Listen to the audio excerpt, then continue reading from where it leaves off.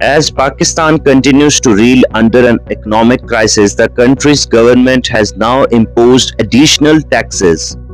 to collect 125 million US dollars from its citizens. The decision was taken at a special meeting of the Economic Coordination Committee of the Cabinet presided over by the Pakistan Finance Minister on Sunday as the country needs 418 million US dollars emergency funding the money is required to avoid international default on oil and gas payments and to keep the staff level agreement with the International Monetary Fund intact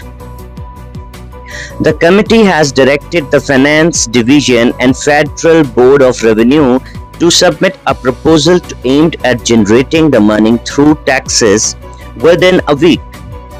The panel has also decided to examine reducing the price adjustments on a weekly or 10-day basis from the existing fortnightly pricing to minimize price uncertainties.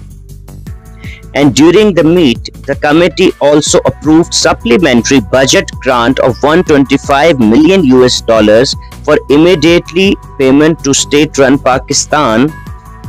oil facility that is currently facing international payment obligations of about 1 billion US dollars till the 28th of August.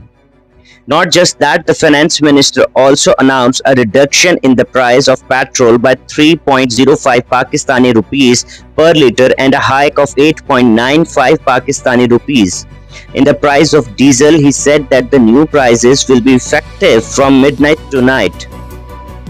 Meanwhile, reports suggesting the International Monetary Fund is likely to start releasing the seventh and eighth batches of a 6 billion US dollar loan program for Pakistan later this week. Pakistan and the IMF had signed the 6 billion US dollar bailout accord extended fund facility in 2019 but the release of a 1.7 billion US dollar batch has been on hold since earlier this year, after the IMF expressed concern over Pakistan's compliance with the deal. The country has been struggling to woo the international bodies since then.